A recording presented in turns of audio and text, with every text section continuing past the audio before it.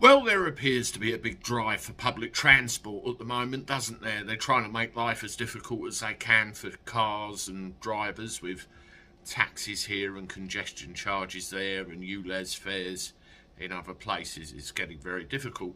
And of course, if you want to push people down the public transport route, you need affordable fares, you need reliable service, after all. Otherwise, it's not worth doing.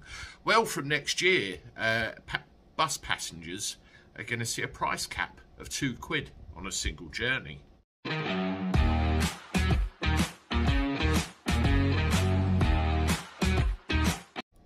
How do everybody? Welcome back to the channel for Sunday. Hope you're doing all right. I'm not too bad, not too bad. Let me know uh, you're okay in the comments below and uh, what you're going to be up to today. That'd be cool. Well, Yes, bus passengers. Yeah, you know, the shiny red things. You never get enough of them, and when you don't want them, five turn up at once. Well, yeah.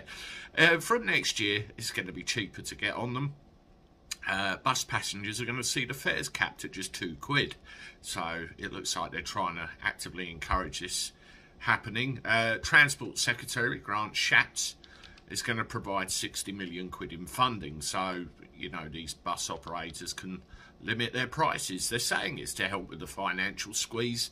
I, I'm not convinced of that. I think they just want to encourage people on them and out of their cars, to be quite honest.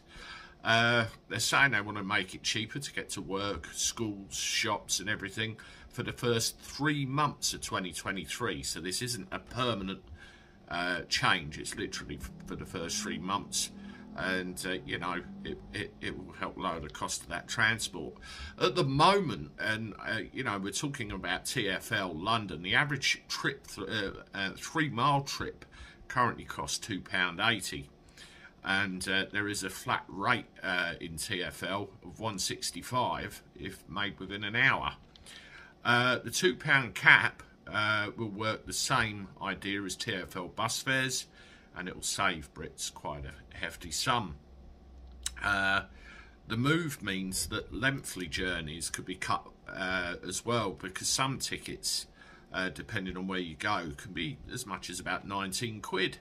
Uh, I mean, as an example here, it costs £12 for a day ticket from Peterborough to Norwich with First Excel and £19 from Leeds to the coastal town of Whitby. And under this scheme, both of those will just cost two quid. Uh, so, you know, that's a that's a hell of a reduction in all the fares. So, you know, we'll see if this funding's forthcoming. Let me know what you think in the comments below. Uh, are you up for it? Or do you see more to this than meets the eye? I think I do, I'm afraid. But uh, be interesting to see your feedback. Anyway, toodaloo.